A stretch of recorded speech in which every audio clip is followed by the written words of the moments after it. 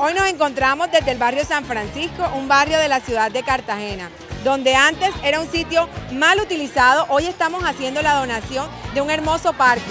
Gracias al gigante del hogar que se vinculó a nuestro programa Dona un Parque, Recibe Sonrisas. Desde el gobierno del Bolívar se avanza, impulsamos espacios de felicidad para nuestros niños, niñas, jóvenes y adultos. Anímate a donar un parque para recibir las sonrisas de todos los niños y niñas de nuestro departamento.